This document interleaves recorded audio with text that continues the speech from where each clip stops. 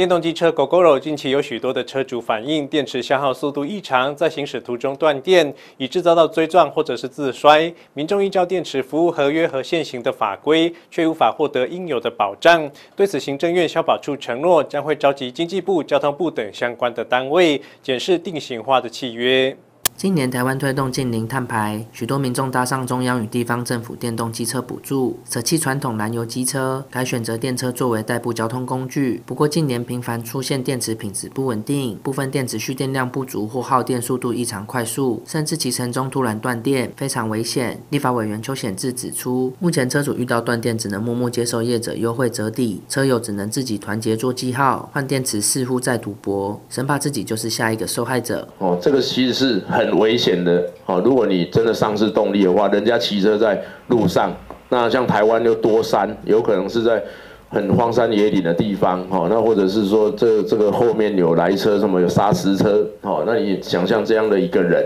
他万一瞬间失去动力，后面撞上去，后面撞上去之后，到法院去的时候，这可能是一条人命。然后这个撞到他的人还觉得还在法院，基本上也没什么过失。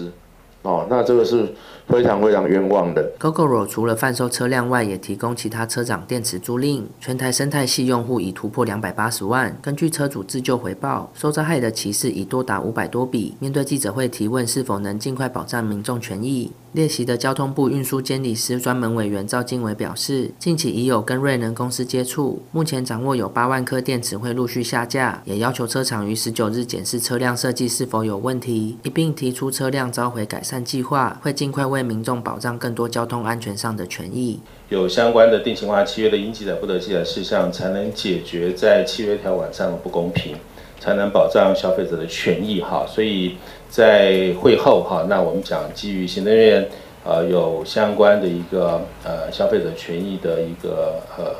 呃主张的一个呃地位上面，会请相关的主管机关来做后续的演绎。他们的厂厂牌电动机车，因为使用这些有瑕疵的电池造成的一些